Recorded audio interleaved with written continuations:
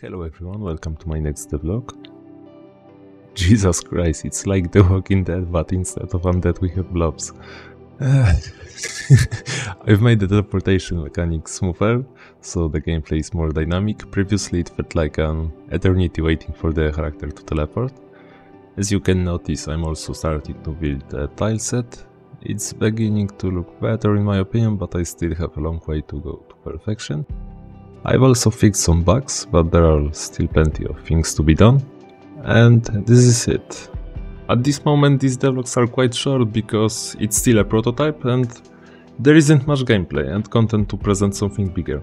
So I won't unnecessarily prolong this and subscribe if you want to see my struggle to make and release my first indie game. I hope to see you soon, have a nice day or night, see ya.